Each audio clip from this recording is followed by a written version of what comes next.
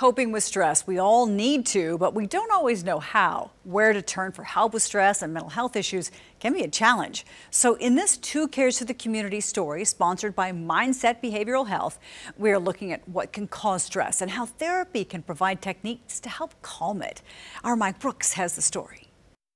We all have stress in our lives. We all have um, various obstacles that come up. Fear, anger, sadness, worry, numbness, or frustration. These are some of the signs of stress according to the Centers for Disease Control. There's also changes in appetite, energy, or sleep. Amy Turner is a licensed professional counselor and runs Mindset Behavioral Health in Tulsa. There are lots of people that are struggling, especially right now. Um, and um, I mean, we've seen a major increase in um, the amount of calls that we get um, uh, for people just reaching out and, and feeling very overwhelmed with life today.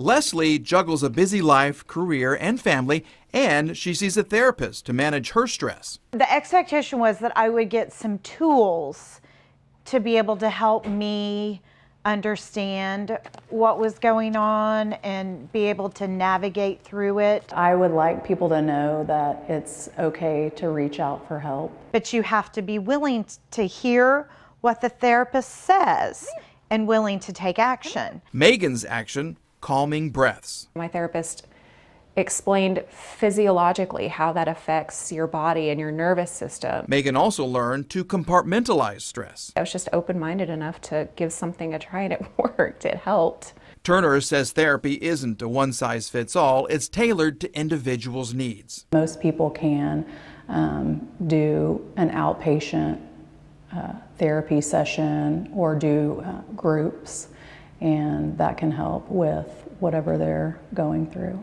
And she adds, when you're stressed out, it's just nice to know that you're not alone. And help is available. Turner says health insurance often covers mental health needs, and referrals can be made by your personal physician. Clinics such as Mindset Behavioral Health also take private pay clients, and there are providers that use sliding pay scales to lessen the barriers to accessing those mental health providers. We put more resources with this story for you on our website, kjrh.com.